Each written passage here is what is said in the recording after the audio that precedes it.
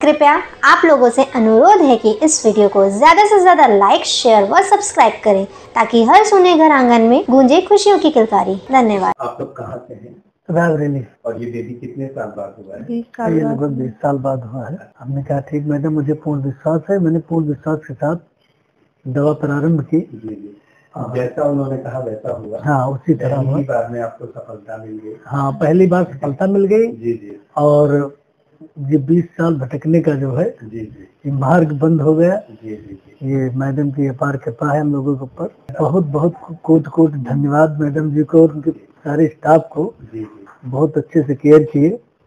और और माँ बनने का सपना उन्होंने आपका पूरा किया। हाँ? जो सपना पिछले बीस सालों से आप देख रहे थे तो आप मैडम को क्या कहना चाहेंगे?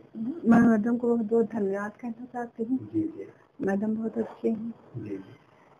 और और भी जो लोग हैं जैसे आपको किसी ने इन्फॉर्मेशन दी यहाँ से जो भी इतने सालों से परेशान है या उनको इलाज नहीं मिल पा रहा है ऐसे लोगों को भी ज़रूर बताइए। मैं अभी तक पंद्रह लोग हमारी जानकारी में हैं हाँ, क्योंकि हमारा अभी तो उदाहरण भी आपके सामने है आपके दोस्त नहीं नहीं अवश्य बताएँगे अधिक से अधिक लोगों को जो है बच्चे ना होने का दुख आप बहुत। हैं और बच्चे आने का का खुशी भी आप लोग अच्छे से समझ सकते हैं। कि आप जब से आपने अपने परिवार में बताया होगा तब से पूरे परिवार में खुशी की बहुत खुशी है।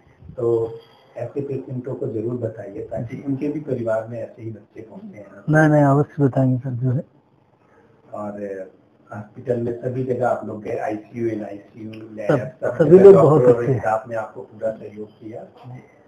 आप दादी हैं नानी है? नानी। नानी। है। और आप मौसी? दीदी। जी अच्छा। तो सभी लोग फेमिली से आए हुए हैं। हाँ बहुत लोग जो है आए कल चले गए अभी कल आएँगे। अच्छा अच्छा। तो इससे ही बहुत खुशी की बात है। बहुत खुशी की बात है।